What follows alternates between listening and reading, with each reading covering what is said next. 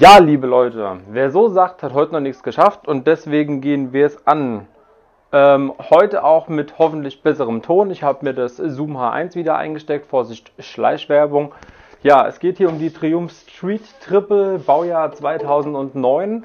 Ich habe ja jetzt schon Vorderfelge und Hinterfelge gemacht, inklusive Reifenwechseln. Dazu seht ihr das 2, äh, Max 2H in einem anderen Video. Jetzt geht es weiter. Ähm, Sitz ab, Batterie raus, Tank ab, Luftfilterkasten ab, Ventilspiel messen, äh, Zündgrenzen tauschen und ähm, Luftfilter tauschen. Ja, und damit ihr ähm, dann so einen Überblick auch über das Bike bekommt, mache ich mir so Step by Step. Das heißt, guckt das eine Video, kommt ihr auch automatisch zu dem anderen Video. Das heißt, wenn ihr an die Ventile wollt, müsst ihr natürlich Sitz ab, Tank ab, Airbox ab und dann habt ihr am Ende so eine ganze Videoreihe. So viel zur Erklärung und ähm, im Prinzip fangen wir jetzt auch gleich schon an. Zur Erklärung, hier vorne kommt die Luft hinein. Das sind die drei Zylinder. Ähm, unten drunter mit den, mit den Drosselklappen. Ähm, der Ventildeckel. Das hier ist für die Abgasreinigung. 1, 2 für das äh, Sekundärluftsystem. Gehört dann hier auch zur Abgasreinigung. Dass im Kaltlauf die Abgaswerte stimmen. Hier und hier das SLS, die Verschlussstopfen beziehungsweise der Zugang zum, zur Motoroberseite. Ventildeckel mit seinen Verschraubungen. Da kommt man sogar relativ gut dran. Ähm, 1, 2, 3 Zylinder. Hier diese Spulen. Da, wenn wir jetzt auch noch dran müssen, dann muss das halt alles weg, dass wir den Ventildeckel losbekommen, nach oben hinweg. Wie genau wir das jetzt bewerkstelligen werden, das werden wir jetzt nach und nach rausfinden.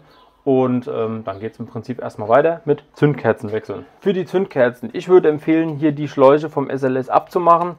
Ähm, dann hat man einfach ein bisschen mehr Platz, schönere Übersicht. Dazu ist hier eine, zwei Klemmer und wenn die ab sind, kann man das Ganze hier rausziehen nach hinten. Lösen wir die Klemme, nach hinten weggezogen, lösen die zweite Klemme, nach hinten weggezogen, wackeln mal am Schlauchsystem. Dann kommt das hier zum Vorschein. Ich würde hier das Ganze ausklipsen. Dann ist das Stück schon mal weg. Das liegt euch dann nicht im Weg. Alles, was ihr halt ausbaut, müsst ihr hinterher auch wieder einbauen, ist, ist schon klar. Ne? Aber so viel Zeit würde ich investieren. Das hier sieht aus wie der Blinker. Brauchen wir jetzt eher nicht. Dann ziehen wir hier die Stecker von den Zündspulen ab. 1, 2, 3. 1, 2, 3. Und jetzt werden die Zündspulen ähm, nach oben hin rausgezogen. Ich nehme jetzt mal die hier, weil die relativ gut zugänglich liegt.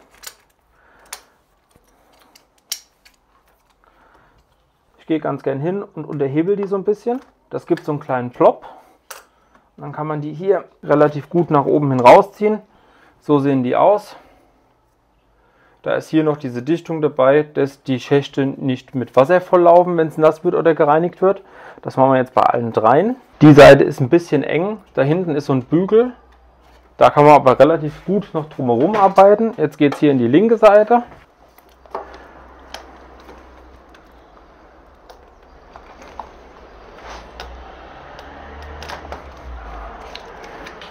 Da ist noch das Kabel im Weg, das schieben wir hinten dran.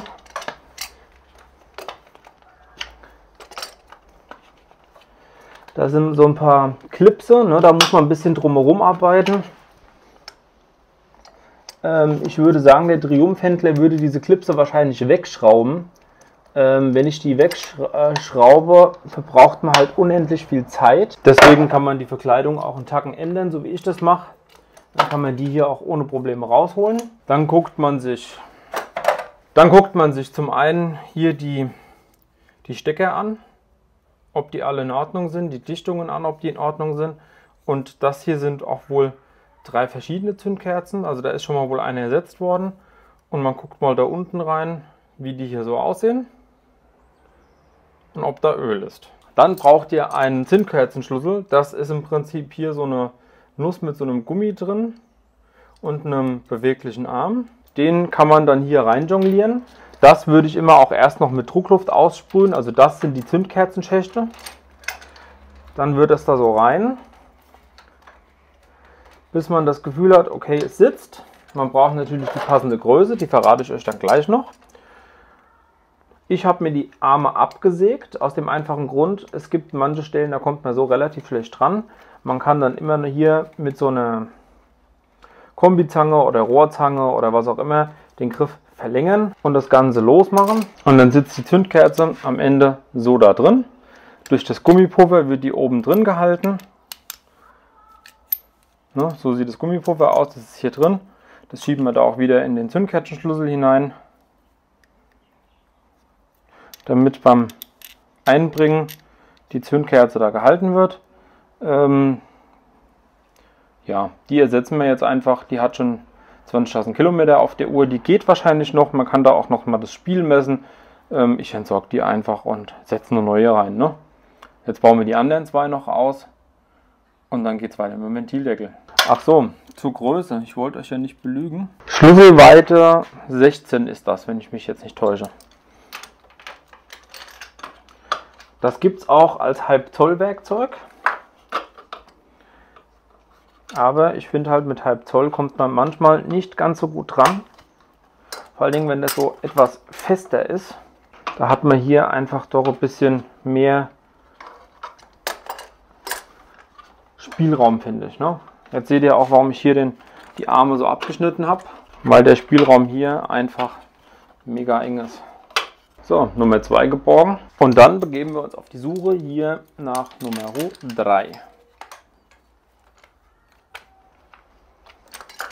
So, da rein.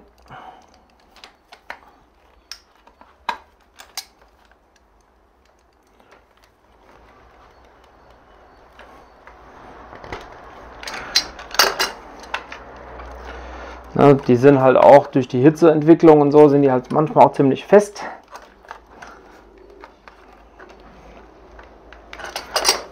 Dann ist da sowieso wenig Platz drin, dann dreht sich das am Anfang auch schlecht. Wer weiß, wie lange die da schon drin sind.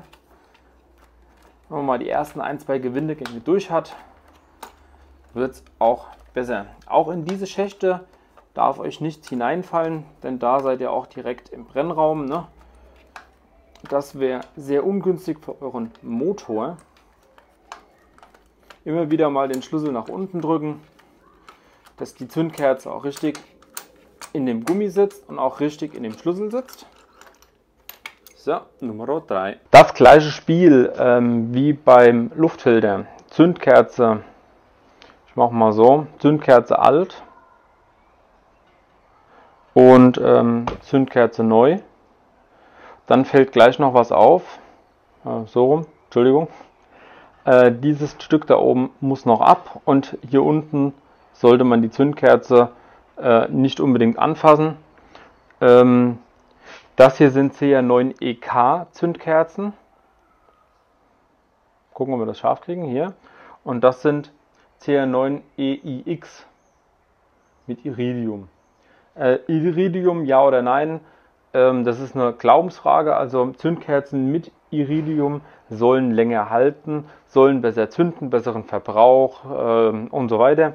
Also ich benutze eigentlich nur Iridium, habe gute Erfahrungen, konnte nichts Negatives feststellen und ähm, der Preis ist jetzt mit ja, 3, 4, 5 Euro pro Stück bei einem Dreizylinder nicht so gravierend. So, liebe Leute, wer so sagt, hat heute noch nichts geschafft. Ihr wisst es, Part 1 ist rum. Ventilspiel kontrolliert, ähm, die Kiste ist auseinandergebaut.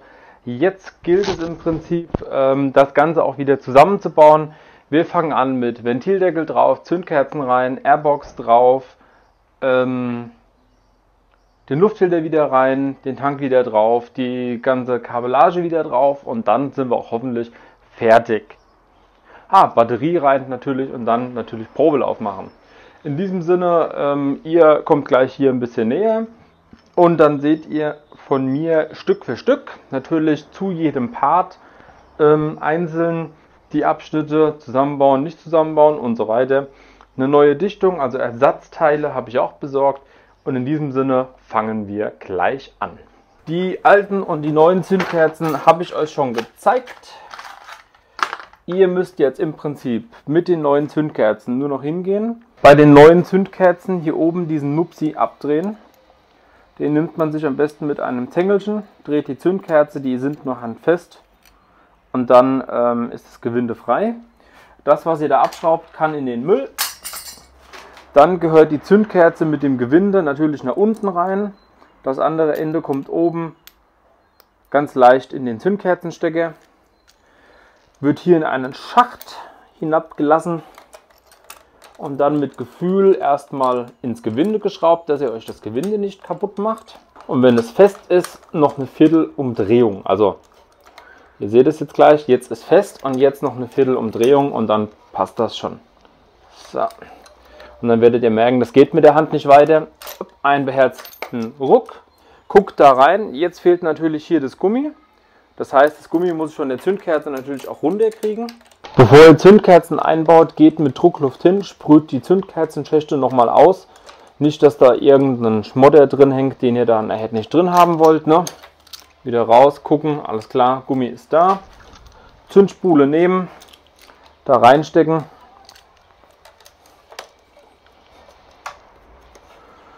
Und darin versenken, bis auch der Stecker nach vorne zeigt und das Gummi komplett drin ist. Das geht unter Umständen ein wenig schwer. Dann muss man irgendetwas nehmen. Zack, zack, das rastet so ein, wie wenn ihr ähm, eine Schraube in ein Gewinde drücken würdet mit der Hand. Das Ganze machen wir natürlich jetzt mal drei. Und ihr seht wieder, warum Rotti sich die Ärmchen da mal abgeflext hat. So, die dritte im Bunde da rein versenkt. Gummipuffer ist noch da. Zündkerzen nehmen. Zündkerzen noch ein, äh, Zündkerzen, Zündspulen, Zündstecker da rein.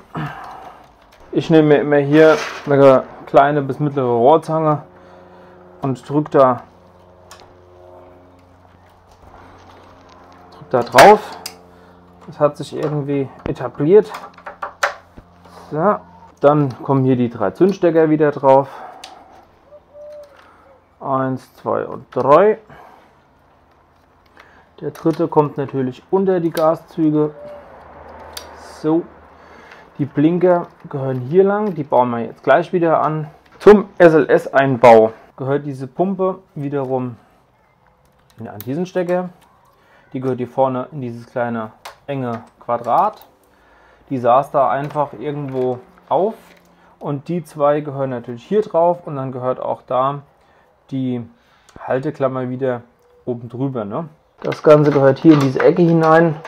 Das wird sich gleich wieder zurechtschieben. Immer schön noch an die Blinkerkabel denken. Blinker links und hier ist irgendwo Blinker rechts. Da unten, das da. Dass die Käbelchen nicht abgerissen werden oder verloren gehen. Ne?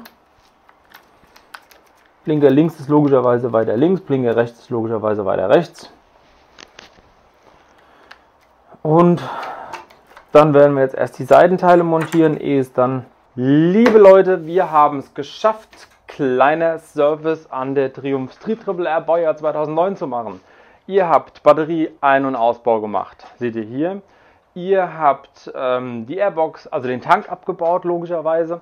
Ihr habt die Airbox abgebaut, ihr habt den Luftfilter gewechselt, ihr habt die Zündkerzen ausgebaut, ihr habt das SLS in der Hand gehabt, ihr habt ähm, die Airbox komplett abgebaut, nicht nur geöffnet, auch die Trichter raus, ihr habt Reinigungsarbeiten gemacht, ihr habt Zündkerzen gewechselt und Ventilspiel kontrolliert. Ich habe jetzt groben und ganzen ähm, mit Video machen, gemütlich und so weiter vier bis fünf Stunden gebraucht. Ne? Also Videokamera umstellen, Päuschen und so weiter. Ne? Ähm, ja, was gibt es großartig zu sagen? Die Triumph ist ziemlich eng. Es gibt so ein paar Besonderheiten, die man kennen könnte oder auch nicht. Gesehen habt ihr es hier. So hundertprozentig perfekt gelaufen ist es jetzt auch nicht. Das macht aber auch gar nichts. Das ist natürlich so wie aus dem richtigen Leben. Ansonsten, ähm, ich würde euch bitten, die Artikel unten über Amazon, über meine Links zu bestellen. Dann gibt es weiter solche Videos. Ansonsten Kommentare sind natürlich gern gesehen, auch hier unten in der Videobeschreibung bzw. unten in der Kommentarfunktion von YouTube. Und ansonsten wird es hier noch das eine oder andere weitere geben. Also ich habe mal noch vor, die Gabel äh, zu machen und das Heck abzubauen. Ölwechsel wird kommen und äh, Bremsflüssigkeitwechsel steht natürlich auch noch an. Jetzt machen wir erstmal eine kurze Testfahrt einmal um den Block. Dann hoffe ich, dass euer Motorrad in Zukunft wieder schön durchzündet und äh, ordentlich gewartet ist. Ich wünsche euch viel Spaß beim Nachmachen und ähm, immer dran denken, das ist natürlich eine Videoreihe. In diesem Sinne Daumen nach oben, Kommentar rein und ähm, bis zum nächsten Mal.